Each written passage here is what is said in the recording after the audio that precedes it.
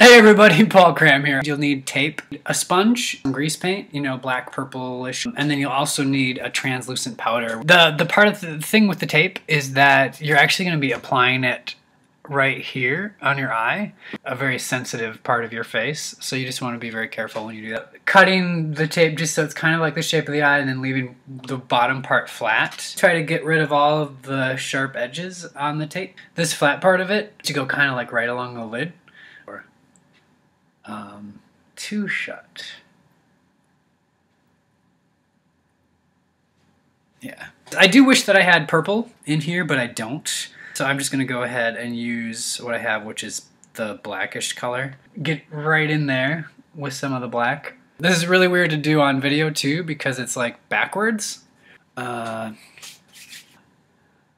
the tape is shiny. Uh, but if you spot that, if you just if you just go over it with the, the, the powder, it does a couple of things, which is great. It actually it gets rid of some of that shine, and then it also uh, kind of sets everything because a lot of this is like a grease-based makeup, so it'll start to slide around after a while.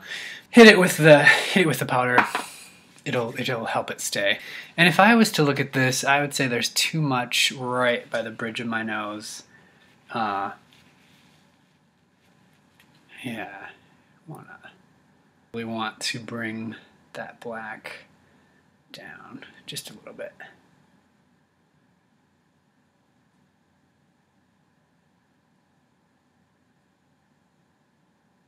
Yeah, to just stick a little bit of red in there.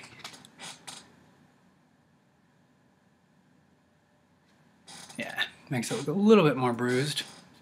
So it's pretty simple. It's pretty basic. It's tape. It's a little bit of black. It's a little bit of red, you know, mixing in some different colors like that. It doesn't look perfect. I didn't take a ton of time on it.